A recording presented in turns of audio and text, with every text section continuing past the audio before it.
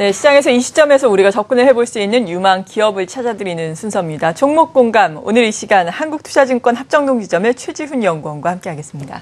안녕하세요. 안녕하세요. 네, 오늘은 어떤 종목군을 중심으로 좀 알아볼까요? 네, 어, 금일은 내년까지 지속적인 외형 성장 및 실적 개선이 기대되는 기업으로 벽산과 일진 디스플레이를 말씀드리겠습니다. 네, 오늘도 역시 두 개의 종목 준비를 하셨는데 먼저 예. 벽산 소개를 해주시죠. 네, 어, 벽산은 건축 및 산업용 건축자재 전문 생산 기업입니다. 주로 내와 단열재, 그 다음에 천장재, 내장재, 바닥재를 주력으로 생산을 하고 있고요. 전방 산업으로 전체 매출 중 30% 정도가 건축 산업이고 나머지 70%는 산업 및 조선용 부, 기자재 부분이 있습니다. 매출은 단열재가 45% 그리고 천장재가 15% 외장재가 15% 어, 기타 부분이 25%고요. 특히 단열재의 경우 경쟁사인 KCC와 병산이 시장을 양분하고 있습니다. 어, 정부는 그 에너지 절감을 위해서 건물 외벽 단열재 두께를 강화할 계획이고요. 어, 이에 따라서 친환경 고효율 단열재 수요가 어, 꾸준히 증가할 것으로 그렇게 판단이 됩니다. 또한 수직 증축 허용에 따른 리모델링 수요 증가 어, 이것도 벽산의 매출 및 영업이 이익 증가에 어, 기여하고 내, 내년까지 고성장이 가능할 것으로 그렇게 전망합니다. 네, 벽사는 어떤 기업인지 그리고 어떤 것들을 갖추고 있는지 쭉 소개부터 해주셨는데 네. 앞서 저희가 오늘 종목 선정의 기준이 지속적으로 내년까지 외형 성장과 그리고 실적 성장이 가능한 기업이다라고 말씀을 드렸는데 네. 그렇다면 구체적으로 실적이 지금 어느 정도나 나오고 있고 어느 정도까지 기대가 되고 있습니까? 네, 어, 벽산이 작년 전체적으로 매출 3,188억, 그다음에 영업이익은 150억을 기록을 하였고요. 올해 매출 3,900억, 영업이익 230억으로 매출이 22% 증가, 영업이익은 전년 대비했을 때 50% 증가할 전망입니다. 그동안 실적 부진의 원인이었던 자회사 벽산 페인트 그리고 어, 주방기기 업체인 하츠의 경우도 올해 하반기부터 실적 개선 추세에 있고요. 어, 내년 본격적인 turnaround가 기대가 됩니다. 벽산의 3분기 실적은 매출 1,100억 그리고 영업이익은 80억으로 전분기 대비했을 때15% 어, 정도씩 증가할 것으로 그렇게 전망이 되고요. 조선산업 회복에 따른 고급 단열재의 판매 증가 그리고 3분기부터 어, 성수기 진입에 따라서 4분기까지 실적 성장이 기대가 됩니다. 네. 그리고 앞서 쭉 설명을 해주셨는데 정부의 정책에 대해서도 말씀을 해주셨어요. 네. 단열재라던가 수직 증축 문제, 수직 증축 같은 경우에는 이 지금 법안이 지연되고 있어서 약간 잡음이 있지만 그래도 또 모멘텀이 될 것 같은데요. 구체적인 벽산의 모멘텀 예. 소개를 해주시죠. 네. 어, 최근 시장에서 리모델링과 관련한 주식들의 상승세가 이어지고 있습니다. 어, 최근 전세 가격 상승에 따른 월세 수요 증가로 인해서 리모델링 수요는 지속적으로 증가할 것으로 이렇게 전망되고요. 앞에서 언급 언급한 것과 같이 수직 증축 법안도 연내 통과가 예상이 됨에 따라서 어, 이러한 흐름은 꾸준히 이어질 것으로 판단됩니다. 벽산의 주력 상품인 단열재의 경우 석유화학 제품을 기반으로 생산한 것이 아니라 돌이나 유리를 활용한 그 무기질 단열재를 주로 생산하고 있습니다. 어, 현재 불에 탈 염려가 없는 무기질 단열재의 비중이 어, 점차 증가함에 따라서 벽산의 지속적인 수혜가 기대가 되고요.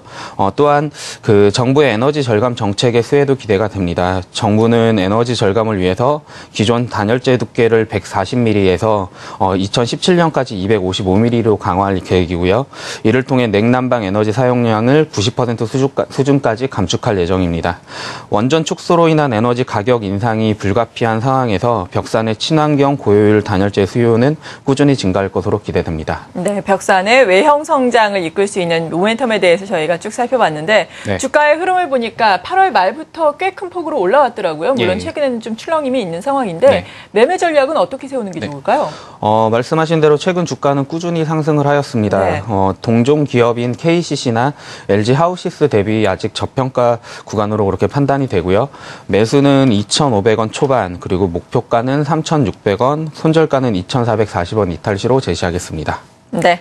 첫 번째 기업 벽산에 대해서 알아봤습니다. 내년까지 외형 성장과 실적 개선이 기대되는 두 종목 오늘 만나보고 있는데 두 번째 종목은 일진 네. 디스플레이라고 하셨죠? 네, 두 번째 종목은 실적 개선으로 향후 추가적인 반등이 기대되는 일진 디스플레이입니다.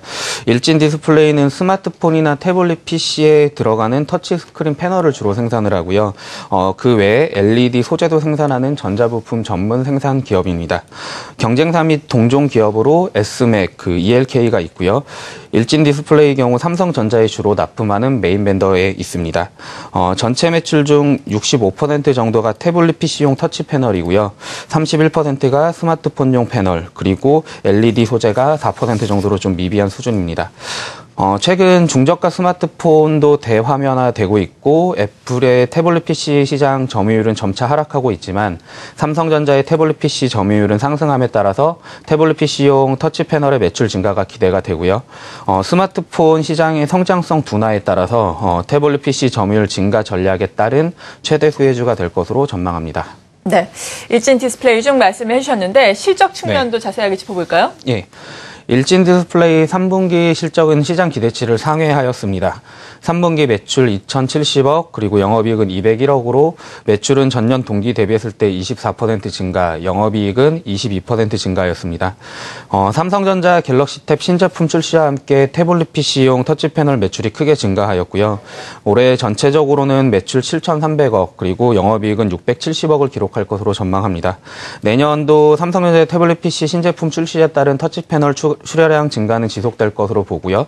내년 전체적으로 매출 8,500억 그리고 영업이익 780억으로 꾸준히 고성장할 것으로 기대합니다. 네.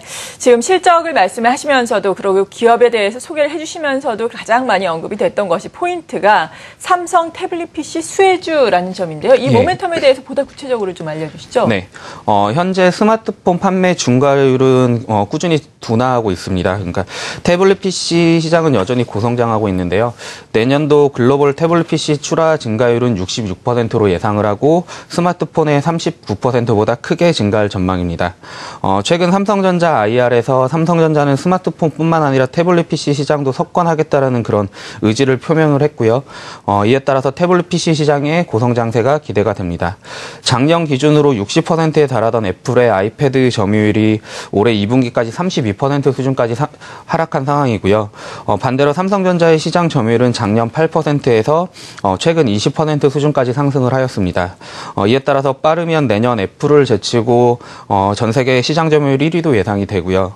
어, 현재 스마트폰 시장의 성장성이 한계에 달한 상황임에 따라서 어, 삼성전자의 공격적인 태블릿 PC 공략이 기대되고 이에 따라서 일진 디스플레이의 동반 성장도 기대가 됩니다. 네, 그렇죠.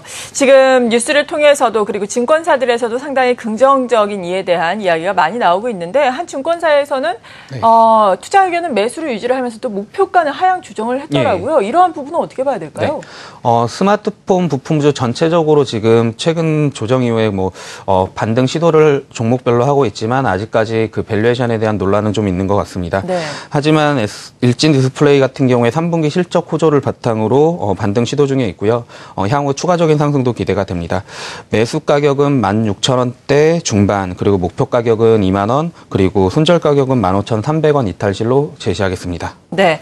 오늘도 비교적 큰 폭으로 3%대 오름세를 기록하면서 17,000원에 육박하고 있는데요. 이것보다 약간 더 눌림목이 연출될 때 접근을 해서 한 2만 원까지는 목표가로 선정을 해주셨습니다. 오늘 이렇게 외형 성장과 실적 개선이 예상되는 두 개의 종목, 벽산과 일진 디스플레이 만나봤는데요.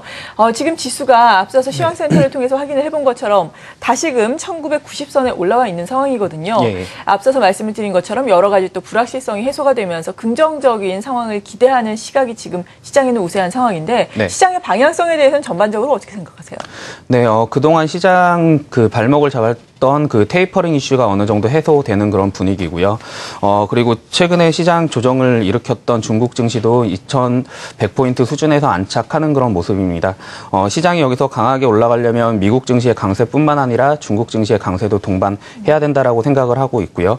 어, 시장이 여기서 큰 폭의 조정을 보일 만한 그런 부정적인 이슈는 없는 것 같습니다. 어, 하지만 시장의 변동성은 변동성은 상- 최근 들어서 상당히 증가를 했기 때문에 어, 시장 조정 항상 염두를 해두셔야 되지만 어, 시장이 조정을 보일 때 오늘 제가 말씀드린 것처럼 내년까지 전망이 밝은 그런 종목들이 우량한 종목들은 어, 분할 매수 관점으로 접근하시는 전략이 유효해 보입니다. 네, 그렇군요. 시장 조정, 조정을 항상 좀 염두에 두면서 조정 시에 말씀하신 것처럼 유망 종목들을 오히려 저가 매수하는 예. 전략이 필요하다라는 말씀이었습니다. 네.